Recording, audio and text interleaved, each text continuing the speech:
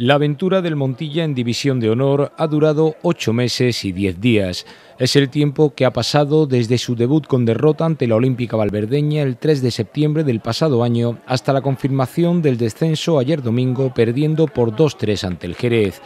Entre tanto, siete victorias, trece empates y otras tantas derrotas no han sido suficientes para mantener la categoría. El equipo se ha desfondado en las jornadas decisivas con un balance de un triunfo, un empate y cuatro derrotas en los momentos clave. La de ayer fue la crónica de un descenso anunciado ante un equipo como el Jerez que ya no se jugaba nada, ante el que los montillanos necesitaban la victoria para seguir soñando con la permanencia hasta la última jornada. Nuestra obligación era ganar hoy si queríamos tener algo de, esperanza y de opciones para la semana que viene.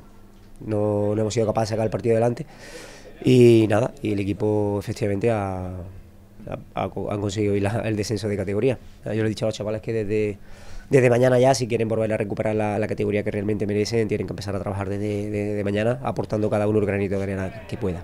Los montillanos comenzaron el partido bien ya que solo tardaron tres minutos en inaugurar el marcador gracias al tanto conseguido por Jorge Ortega. Aún así, el Jerez fue adueñándose del partido y antes de la media hora ya había logrado el empate con el que se llegó al descanso. Tras el paso por vestuarios, los fallos defensivos condenaron al Montilla, que en el minuto 62 encajaba el 1-2 y apenas siete minutos después el 1-3. Este tanteador sentenciaba a los montillanos, que redujeron distancias casi con el tiempo cumplido con el tanto de Jesús Unquiles. No fue suficiente y el Montilla desciende a Primera Andaluza una jornada antes del final del torneo. Ha sido una liga muy irregular para los montillanos que han acusado la falta de tensión en muchos tramos de la competición y sobre todo la inexperiencia del equipo perdiendo puntos en partidos clave que se han echado en falta en la recta final del campeonato. Evidentemente ha faltado un poquito más de continuidad, yo creo que un poquito más de tiempo. También es verdad que las lesiones no nos han, perjudicado bastante. Hemos lastrado buena parte de la temporada sin, sin Luque, jugando prácticamente todo el año nada que con un delantero, una plantilla muy corta.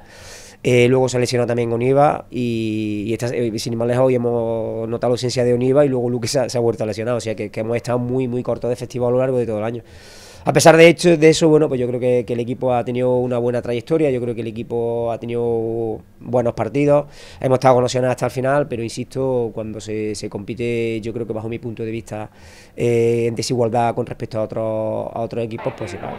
Todas las ilusiones generadas al principio de temporada han caído en saco roto. El equipo montillano volverá la próxima campaña a disputar una categoría de ámbito provincial como la primera andaluza después de reencontrarse con la competición regional en división de honor.